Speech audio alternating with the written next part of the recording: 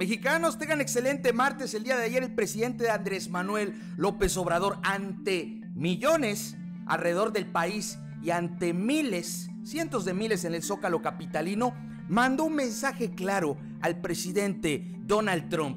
Un presidente que ha hablado acerca de nosotros, el plan de migración, todo lo que conlleva aranceles, en fin, una relación muy diferente a la que existía antes la G20, la Guardia Nacional, absolutamente todas esas dudas que tenían los detractores de que el presidente Andrés Manuel López Obrador ya era entreguista, sumiso ante el presidente norteamericano, nada que ver. Cheque por favor este resumen de lo que fue el día de ayer el AMLO Fest.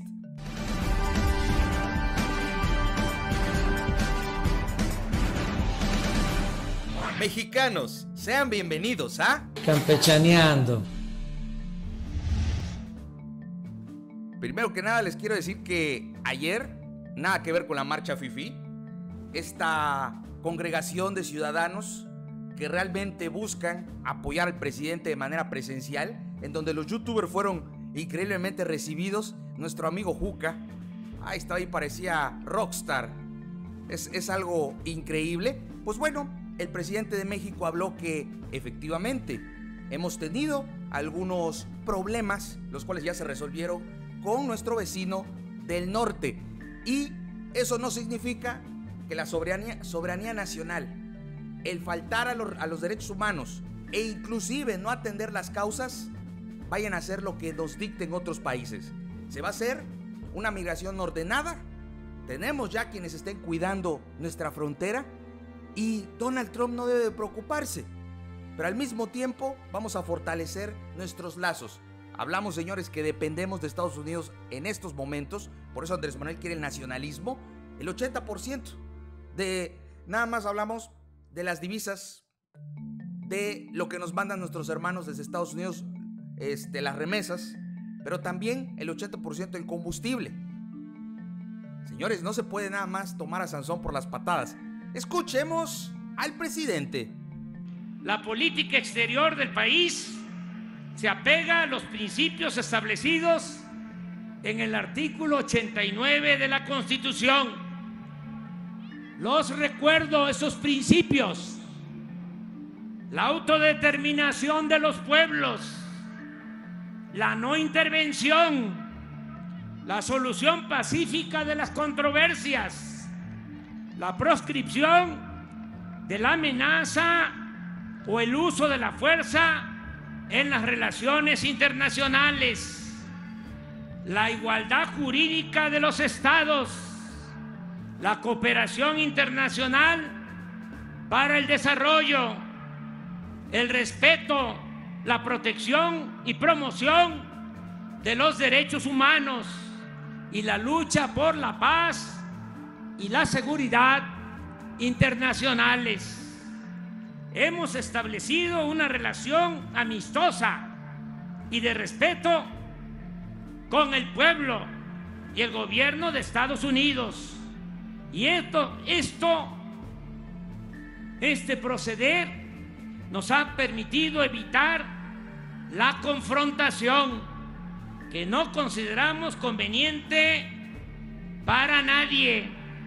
Hace unos días superamos una posible crisis económica y política mediante un acuerdo migratorio que nos obliga a ser más estrictos en la aplicación en la ley de la materia, sin violar derechos humanos y rescatando, como todo acuerdo, rescatando a nuestro favor el reconocimiento de que se atenderá este asunto sin usar la fuerza, sin usar medidas coercitivas, sino creando oportunidades de trabajo y bienestar para la gente en sus lugares de origen, es decir, en los países hermanos de Centroamérica y en nuestro país. Pues bueno, otra cosa que me comentaban, oye campechaneando, ¿cómo quedamos en la G20? Les comenté, esta es una enorme noticia, no la tomaron muy en cuenta muchos, Andrés Manuel López Obrador manda en su representación a Marcelo Ebrard. Marcelo habla con los presidentes más importantes del mundo. Ahí fue Vladimir Putin, la República Popular de China, eh, también Justin Trudeau, Canadá, Estados Unidos con Donald Trump. Pues bueno, se logró el objetivo. El plan de desarrollo en Centroamérica. No va a ser México el único que coopere, sino las naciones más importantes. Chéquenlo, chequen lo que dijo el presidente de la G20. Antier concluyó la reunión del G20 en Osaka, Japón. Y en el documento final de esta cumbre, los países miembros adoptaron la propuesta nuestra, la propuesta mexicana de atender la migración a través de la cooperación para el desarrollo. Ya se ratificó el tratado comercial entre México, Estados Unidos y Canadá. Y bueno, para que dejen de decir, oye, campechaneando, entonces el presidente solo se pone a cuidar a, los intereses extranjeros. No puede ser posible que sea candil de la calle, obscuridad de la casa. Es una enorme mentira. Este plan de desarrollo que se está haciendo en Centroamérica y cumplir los ordenamientos eh, que dicta la ley y los acuerdos que tenemos para con Estados Unidos, esto es una cosa. La Guardia Nacional, el salvaguardar la integridad física de todos ustedes, de sus familias, también es un tema importante del presidente Andrés Manuel, el cual inclusive ya empezaron las mantas contra la Guardia Nacional. El presidente lo dijo hoy en la mañanera que no es un cobarde, pero chequemos, chequemos el tema de la Guardia Nacional. Todos los días, desde las 6 de la mañana, presido la reunión del Gabinete de Seguridad para dar seguimiento al fenómeno delictivo, avanzar en la construcción de la paz y reconstruir la seguridad de los mexicanos. No se tolera que se oiga bien, no se tolera la tortura ni ninguna otra violación a los derechos humanos. Estamos dedicando tiempo y recursos a la búsqueda de desaparecidos por la violencia. No descansaremos hasta saber el paradero de los jóvenes de Ayotzinapa. Ni el ejército ni la marina se han utilizado ni se utilizarán para reprimir al pueblo. Se terminó la guerra de exterminio contra la llamada delincuencia organizada. Ya no se permiten racias, ni masacres, ni la desaparición de personas. El Estado mexicano ha dejado de ser el principal violador de los derechos humanos. En vez de ello, se garantiza trabajo y bienestar a los jóvenes. Se castiga el contubernio y la impunidad y se está procurando una mayor seguridad pública para la población. Se reformó la constitución y se creó la Guardia Nacional para garantizar la seguridad pública.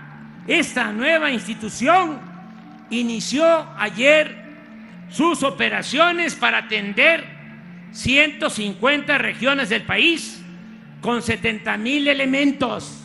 Aquí quiero agradecer en el Zócalo de todo corazón. Quiero agradecer el apoyo y la lealtad de los soldados y marinos que han aceptado el desafío de garantizar la seguridad pública sin violar los derechos humanos y con el uso adecuado, regulado de la fuerza. No olvidemos, el marino y el soldado es pueblo uniformado. Amigos, tenemos un presidente que no solo cuida a la gente de México, sino también es humanista.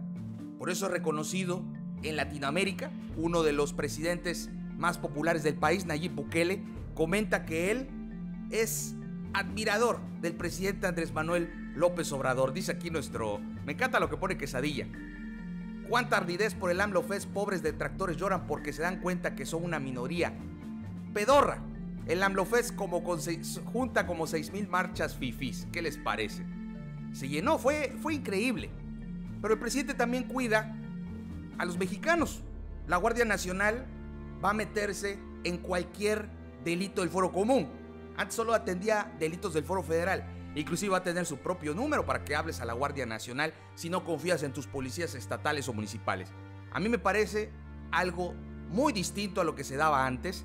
Tenemos también a un presidente que tiene buenas relaciones con no solo el país de Estados Unidos, con Canadá, estamos entrando con los chinos, con Rusia, con Alemania, con Latinoamérica, principalmente El Salvador, Guatemala y Guatemala y Honduras.